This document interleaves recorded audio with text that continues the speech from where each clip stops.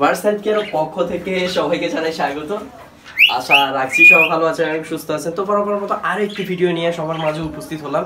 যদিও অনেকে আসলে জানতে চায় যে মানে আমি ধরেন পাখি পুষতেছি।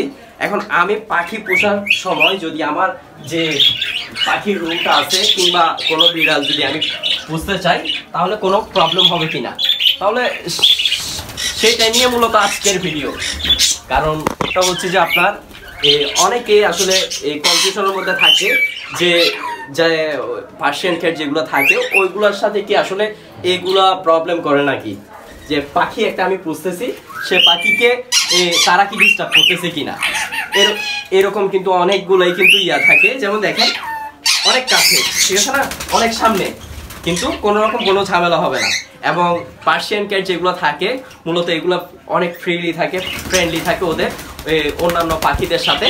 তো যার ফলে কিন্তু দেখা যায় যে পাখিদের আর তেমন একটা প্রবলেম হয় না। পার্সিয়ান ক্যাট এবং আপনি নর্মাল ক্যাটগুলো যদি থাকে, সেগুলো কিন্তু দেখা যায় যে পার্ট টাইপের আপনি যতই তাদেরকে এই ভালো টেক কেয়ার নেন না কেন, যতই ভালো খাবার দেন না কেন, তারা কিন্তু আপনার পাখি কিংবা মুরগির বাচ্চা যেগুলো থাকবে, সেগুলোকে তারা কিন্তু অ্যাটাক করবে।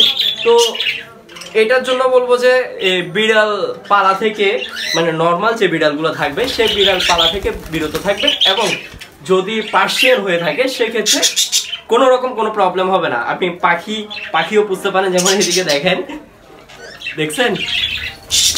তারা কিন্তু ফ্রেন্ডলি থাকে, অনেক। অনেক ফ্রেন্ডলি থাকে। তো প্রথম যদিও আমাদের কাছে ইয়া, নতুন মেম্বার ভার্সাইল কেয়ারে তো সেজন্য একটু প্রবলেম হচ্ছে। তো আপনারা জানেন যে আমাদের কাছে ট্যাম্প করা বেশ কয়েকটা পাখি আছে। এখানে যে সেট আছে, মূলত এখানে মূলত ট্যাম্প করা পাখিদের এর জন্য এই সেট রাখা।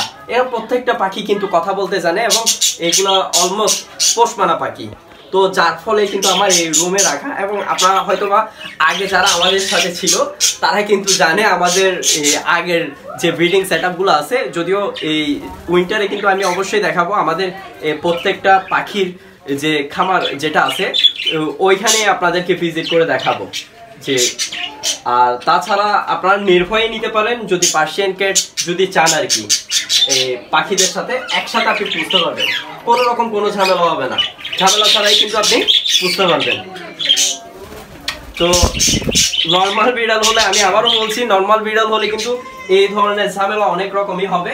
তো নর্মাল বিড়াল থেকে মূলত বিরত থাকতে হবে এ, পাখিদের পাখির বাসা থেকে এবং পাখিদেরকে। যদি পাখিদের নর্মাল বিড়ালের ক্ষেত্রে হয় সেক্ষেত্রে কিন্তু অনেক প্রবলেম হবে। সেই বিড়াল কিন্তু আপনার পাখি খেয়ে ফেলবে। তবে এই পার্সিয়ান ক্যাটগুলো দেখা যায় যে পাখিদেরকে অনেক ফ্রেন্ডলি থাকে এবং ভয় পায়। বিশেষ করে অনেক ভয় পায়। দেখছেন? থাকবেই না। আমি পাখি নিছি সেজন্য। পাখিটা ছাড়িয়ে দিচ্ছি এখন। দাম করে দেখবেন যে সে আমার কাছে আসে। তো আই হোপ আপনারা বুঝতে পেরেছেন যে পার্সিয়ান ক্যাটের আর পাখি একসাথে রাখলে কোনো প্রবলেম হবে কিনা। এক কথায় কোনো রকম কোনো ঝামেলা হবে না। তো দেখা হবে পরের ভিডিওতে সালাম আলাইকুম।